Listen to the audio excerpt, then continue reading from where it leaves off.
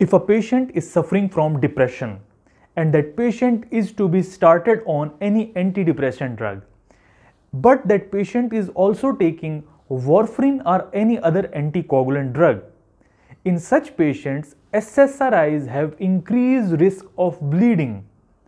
What you can do is that you can start the patient on atypical antidepressants like mirtazapine mirtazapine does not increase risk of bleeding in patients who are taking anticoagulants like warfarin. Mirtazapine increases adrenaline and it increases serotonin in the neuroreceptor junctions.